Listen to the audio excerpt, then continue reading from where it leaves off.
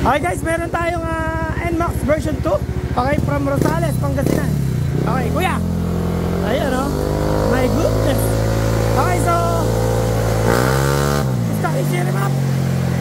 Problema, yung pagilid niya. So, inayos natin dito. Okay. Nagtono tayo ng panggilid. So, nagpalit din tayo ng uh, ibang mga pyesa. So, nakakuha tayo ng ano kanina. Pinakamataas, 15.6. Ito, ito, ito, ito. Pipindutin mo to. Yun. Okay, so ngayon, tingnan natin kung uh, ilang gain. Kung ilang horsepower ngayon.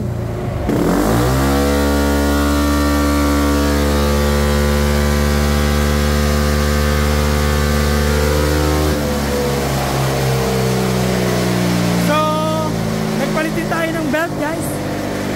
So ngayon, malaman natin na sigurado ang magiging result dito ano, pataas. Okay, pili ka. Yun.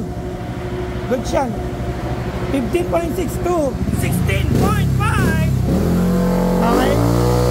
So, masarap dito. Nakikita natin kung ah, maganda yung CVT. Malaki talaga binibigay ng CVT. Pagdating sa horsepower.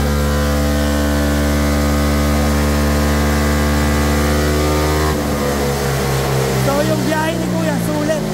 Diba? Hindi tayo basta remap lang. Okay, hindi tayo basta remap lang. Okay na, pataas oh. 16.7 at 8751 RPM. Okay?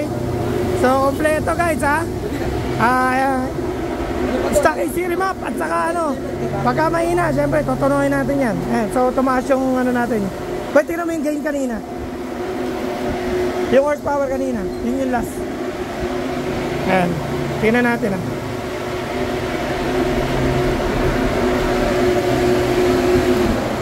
Wag na natin tong ikat para dire-diretso. Ayan guys, oh. 15.6. Oh, pati yung RPM niya tumasok. Oh, di ba? Oh, pati po yung top speed nyo sa actually hindi naman to top speed eh. Ano to yung pagbigay ng ano? Comparison lang. Comparison natin. So kanina, yung 120 Oh, ayan oh. lang 8, hanggang 7. Yung oras ano? Torque at saka HP. Yan, overall. Tumaas din, no? Overall lumakas yun. Ayan, okay. So nakita nyo. Kasi dito guys, hindi natin pwedeng i-compare yung top speed sa sa ano, sa kalsada. Siyempre, yung load ng hangin, yung sakay, dito kasi walang sakay, saka walang hangin, di ba? Okay, so Ano hindi lang natin pwedeng comparison lang. comparison natin to. Ayan. Hmm. Ang bilis niyang kinuha, oh. Kita nyo? 136. Hindi, ito yung matatagal eh. Ayun, Ano ngayon yan? Okay, so ayun, ang bilis na kinuha, no? 16.7. Ayan, oh. Tingnan nyo. Okay. Pero yung ano, mas okay sa akin, eh, yung pagka mo lang ng washable, wag na yung nakapon. Wag na yung nakapon. Oo, merong nakakon eh. Tignan nyo guys. Ah. May gaganda. Silipin nyo. ah. May gaganda. Ah, para mas gumanda pa. Siyempre, nag-advise tayo ng... ah, ayun oh, nakita nyo. Mas maganda yung naka-filter kaysa yung naka-com. Okay? So, nag-advise tayo dito ng ano, ng mas maganda para sa motor nyo. Okay, today is... ah, anong araw ngayon? Hindi ko alam. 26. 26. My goodness. Ayan o, 26. October 26. Ayan o. Oh. Dito na ako bumabati eh. Okay, so, yun. Thank you, kuya. Ang layo pala nung Rosales. Salamat po, salamat po. Okay, so may parating pa tayong isa, dalawa, tatlo.